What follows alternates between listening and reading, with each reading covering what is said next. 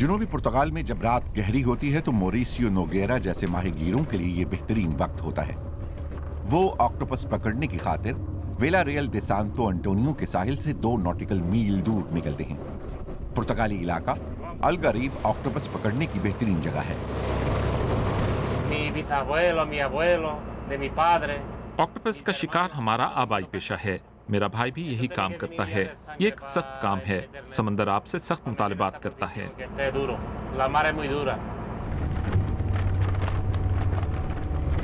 आज रात हवाएँ तेज हैं और लहरें खतरनाक, इसलिए काम कुछ मुश्किल है।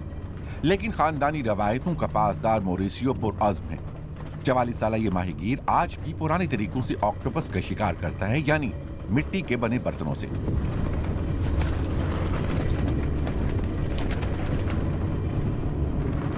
माहीगिरी का ये तरीका ज़्यादा बेहतर है। ऑक्टोपस मिट्टी के जग में सो जाती हैं और किसी वक्त भी तैरकर बाहर निकल सकती हैं। दूसरी तरफ़ जाल ही जाल हैं। लेकिन अब ऑक्टोपस के शिकार के नए तरीके इस्तेमाल किए जा रहे हैं, जिनसे ज़्यादा तादाद में शिकार मुमकिन हो गया है।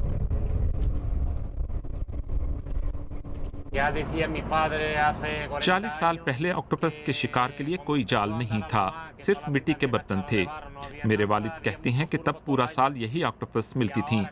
अब पिंजरों और जदीद तरीकों के तहत ऑक्टोपस पकड़ने की वजह से हम जैसे अफराद को मसाइल का सामना है. अलगरीब के इलाके सांता लोगियों में ऑक्टोपस का बड़े पैमाने पर शिकार किया जाता है। यहाँ जोकीन ओल्वेरा पिंजरों की मदद से शिकार करते हैं। सत्तावन साल अलवेरा का कहना है कि ऑक्टोपस के शिकार के लिए पिंजरों का इस्तेमाल इंतहाई आसान है।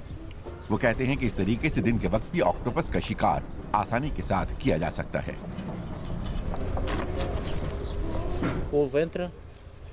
ऑक्टोपस इन पिंजरों में फंस जाएँ तो वो निकल नहीं सकती। ano 2000, सन eu 2000 तक com मैं भी मिट्टी के बर्तनों की मदद से ही इन्हें पकड़ता था। 2000 passei para फिर मैंने जाल इस्तेमाल करना शुरू किए तो काम आसान हो गया। अब ऑक्टोपस का शिकार मुश्किल नहीं रहा है. दूसरी तरफ़ रिवायती तरीके से ऑक्टोपस पकड़ने वाले मोरिसियो मुश्किल का शिकार हैं और उनकी आमदनी भी कम हो गई है वो अब एक रात में 50 ऑक्टोपस पकड़ते हैं यानी 70 किलो लेकिन मार्केट में इस जिन्स की मांग बढ़ रही है ऑक्टोपस की तलब में इजाफा हुआ है लोग इसे खाना चाहते हैं स्पेन और पुर्तगाल में ये खास पकवान है. तहम नए तरीकों के साथ आलूदगी में भी इजाफा हुआ है। अब मिट्टी के रवायती बर्तनों की जगह प्लास्टिक के कंटेनर्स इस्तेमाल किए जा रहे हैं जिसकी वजह से समुद्र में ज़्यादा प्लास्टिक जा रहा है। पुर्तगाली इलाके अलगरेव की मरीन बायोलॉजिस्ट मफादा रंगाल फिक्रमंद है। वो प्लास्टिक के इस्तेमाल के खिलाफ हैं। समंदरों में माइक्रो पार्टिकल्स की तादाद पहले ही बहुत ज़्यादा हो चुकी है। वो माहिगीरी के लिए पायदार तरीकों के हक में हैं।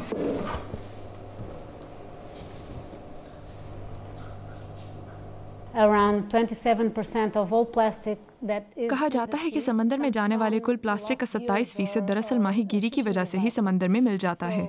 अगर ऑक्टोपस पकड़ने वाले प्लास्टिक के ये कंटेनर्स भी समंदर में ज़ाया किए गए तो ये एक बहुत बड़ा मसला बन जाएगा।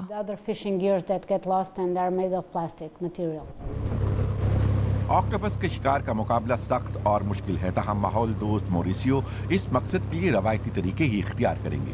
वो कहते हैं कि बेशक वो ज़्यादा देर तक काम करें और कम शिकार करें लेकिन वो प्लास्टिक का इस्तेमाल नहीं करेंगे। Esto a base de trabajo y de mucha. ज़्यादा मेहनत और हुनरमंदी से आप मुनासिब कमाई कर सकते हैं। लेकिन आपको सर्दी और खराब मौसम में भी काम करना होगा। तभी ऐसा मुमकिन होगा. मोरोसियो का कहना है कि ऑक्टोपस के शिकार का उनका रवायती तरीका ही मुस्तकबिल है। उन्हें उम्मीद है कि अलगारेव में समंदरों के तहफ़ के लिए इस तरीके को लाजमी करार दे दिया जाएगा।